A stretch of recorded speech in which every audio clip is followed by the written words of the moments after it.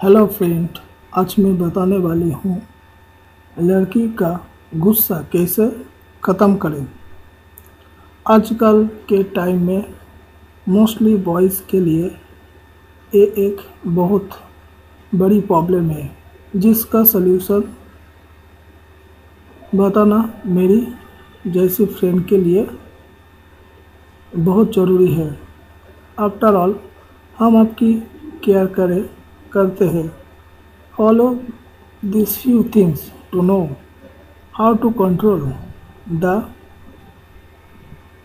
anger of a girl so let start now first send serious and lovely sorry S M S अगर girlfriend थोड़ी रूठी है तो एक must sorry S M S खोजो।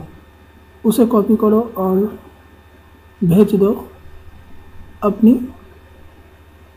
दिलरुबा को इसे वो होगा कि लड़की ये सोचने पर मजबूर हो जाएगी कि एटलीस्ट लड़का ने एक बार बिना मेरे बोले ही खुद से सॉरी बोल दी और अपनी गलती मान ली। इसे हंड्रेड परसेंट गारंटी है कि लड़की का थोड़ा सा गुस्सा ज़रूर कम होगा।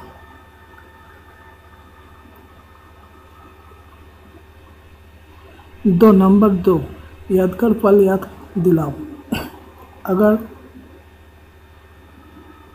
ऊपर वाले टू टिप्स कम ना करे तो ये टिप्स से बताओ अगर आप उसे मिल सकते हैं तो मिलकर एसएमएस करके उसे साथ बिठाओ। हर वो पल जो आप दोनों के लिए काश हो, उसे याद दिलाओ। अगर आप उनसे व्हाट्सएप पर बात करते हैं तो कुछ साथ में बिठाओ। पल वाला फ़ोटो दिखाओ और तब सॉरी बोलो। It really work always number three gift भेजो। अपनी गर्लफ्रेंड के लिए एक अच्छा सा गिफ्ट एंड एक सॉरी कार्ड ले लो। उसमें कुछ इमोशनल बात लिखो और उसे भेज दो। आप एक सुंदर सा रोज़ भी दे सकते हो। एंड एक कार्ड मेल लिख कर भेजो कि I am sorry and I really love you baby और वो उसे तो एक चॉकलेट भी भेजो, क्योंकि एवरी वन नो दैट की गर्ल को चॉकलेट्स बहुत पसंद होती है। नंबर फोर, गर्लफ्रेंड की फ्रेंड से हेल्प लो। अपनी गर्लफ्रेंड की किसी बेस्ट फ्रेंड से मिलो।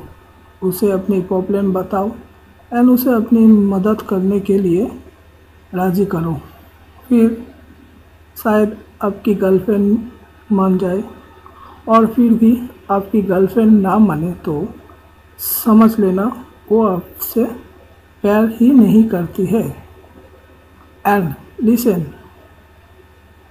उदास होने की तो बिल्कुल ज़रूरत नहीं, क्योंकि लड़कियाँ बहुत ही इजी दुनिया में। सो न्यू गर्लफ्रेंड बनाओ and enjoy the life Dear friend, I really hope that my this effort will help you. In तरीक़ों को आजमा के कर आप अपनी नाराज़ फ्रेंड या वाइफ जो भी हो उसे इजी मनाओ। इजी से मना नहीं पाओगे। Hope for the best and yes so सही से इम्प्रूवमेंट करने ज़रूरत है। सो, हर कदम फूक फूक कर करो, ओके? एंड रिमेंबर मी मुझे भी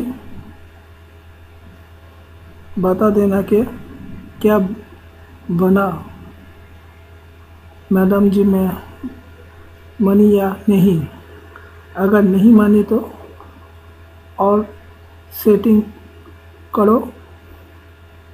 डेंजर टेंशन मत लेना और ये मत सोचना कि बी सी अब मैं क्या करूँ। सो थैंक यू दोस्तों।